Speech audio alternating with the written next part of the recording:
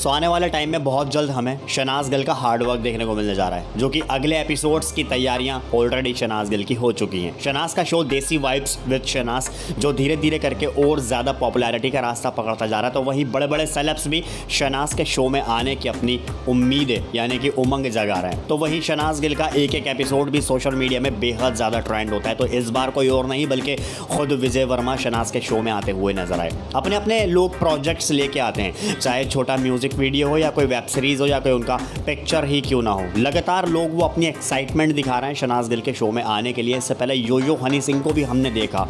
वो वो star cast को हमने शनाज गिल के शोज़ में देखा जो जो शनाज गिल को पहले ठुकराया करते थे। मगर आज की डेट में शनाज खुद उनके शो में आकर उनसे अपनी पॉपुलैरिटी का रास्ता पकड़ना यानी कि खुद ही ये कह रहा है कि हमारे जो भी शो आने वाला है या फिर जो वेब सीरीज़ आने वाली है, जो भी प्रोजेक्ट आने वाला है, उसको प्रमोट करो। तो आज ये काबिलियत शनाज गिल की पैदा हो चुकी है। तो विजय वर्मा शनाज गिल के शो में आए एपिसोड को उन्होंने शूट किया काफ़ी अच्छी तरीके से। Back to back Shehnaaz Gill के चार से पाँच एपिसोड्स ऑलरेडी शूट हो चुके हैं, जो हमें लगातार देखने को मिलते रहेंगे। और आगे ना जाने क्या क्या करती हुई नज़र आएँगी। यह हमें आने वाला वक्त बता